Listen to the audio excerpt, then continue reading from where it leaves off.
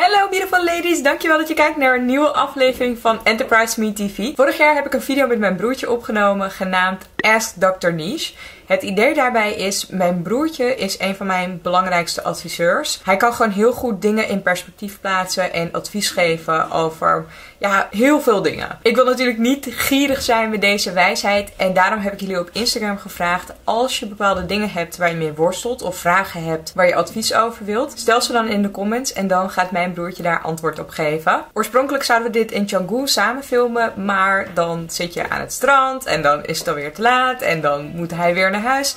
Dus we hebben het gewoon weer even via Skype gedaan. Ik hoop dat jullie dat ook oké vinden. Oh ja, en aangezien er best wel wat vragen binnenkwamen en ik deze video niet te lang wil maken in verband met de uploadtijd vanuit Azië, heb ik vijf vragen uitgekozen waar mijn broertje antwoord op gaat geven. De eerste vraag is van Sunshine Triest. Zij vraagt: Ik weet gewoon zeker dat mijn huidige werk niet het werk is wat ik altijd zal blijven doen. Hoe kom ik erachter wat ik wel moet gaan doen? Zeker omdat ik een brede interesse heb en erg leergierig ben, lijken ook zoveel dingen me leuk. Er zijn twee dingen waar, waardoor ik binnen zes jaar ongeveer een superleuke baan had. Nou, één, de eerste gouden regel is: doe meer van wat je leuk vindt. De tweede is natuurlijk. Doe zo min mogelijk van wat je niet leuk vindt. Analyseer gewoon in jouw werk wat je leuk vindt, wat je niet leuk vindt, welke projecten je leuk vindt, wat voor soort managers je leuk vindt. En doe meer van dat. En onderweg, als de jaren zeg maar voorbij gaan, krijg je steeds leuker en leuker werk. Succes. Wat ik ook al super vind, in jouw vraag geef je aan dat heel veel dingen je leuk lijken en dat je een brede interesse hebt. Top! Ga dat vooral onderzoeken. De tweede vraag is van Junar Diaz. Ik ga voor mijn studie HR in september vijf maanden naar het buitenland. Wat zijn zijn tips van mijn broertje als het om emigreren gaat? Ik merk het namelijk moeilijk te vinden om de stap te zetten. Hi Junar Diaz. Je gaat naar het buitenland, je gaat daar op exchange. Dat is waarschijnlijk vijf maanden. Vijf maanden in je hele leven is heel kort. Dus op zich gewoon voor gaan. Heel veel van jouw exchange studenten zullen waarschijnlijk ook daar in het buitenland in hetzelfde pakket als jij zitten. En ze willen vrienden met jou zijn en jou natuurlijk leren kennen. Het laatste wat je in je achterhoofd moet houden is dat het land nooit aan jou aanpast, maar jij je eigenlijk aan hun moet aanpassen. Ik zit hier in Hongkong al een hele lange tijd. Ik maak hele gekke dingen mee, wat, wat in Nederland heel raar zou zijn, maar hier is het heel normaal.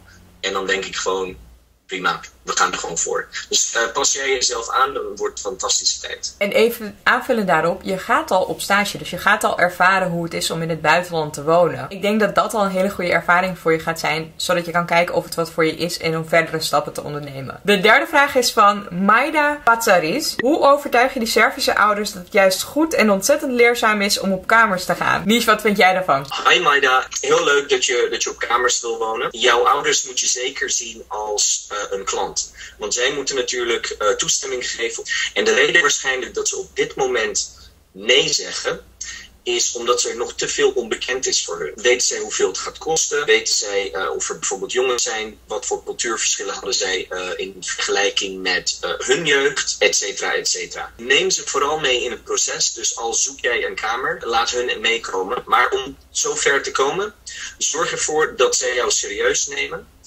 Dus dat jij op kamers wil wonen. En dat je alles weet van qua kosten, qua mensen. En ook het feit dat je eigenlijk weer bij hun terugkomt in het weekend, et cetera, et cetera.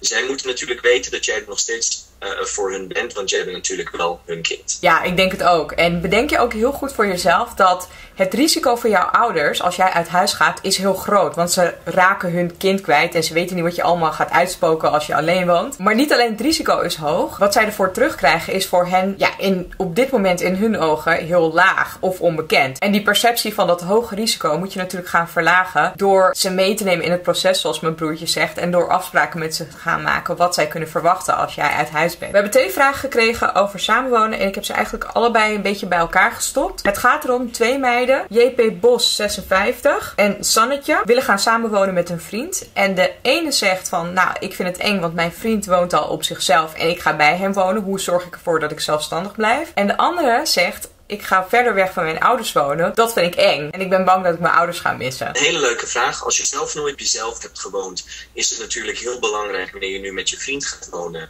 om uh, duidelijke afspraken te maken. Dus wie doet wat, wanneer, et cetera. Zodat jullie zeker weten waar je aan toe bent. En ik denk ook zeker als je bij je vriend gaat wonen, terwijl hij al op zichzelf heeft gewoond, dat je heel goed voor moet waken. Een van de grootste valkuilen van samenwonen is dat je ineens alles samen gaat doen. Dat moet je dus niet doen. Zorg er ook voor dat je echt je eigen leven houdt en laat je vriend ook vrij om zijn eigen leven te houden. Tweede is, uh, als je nooit ver weg van je ouders hebt gewoond, het is eigenlijk heel eng.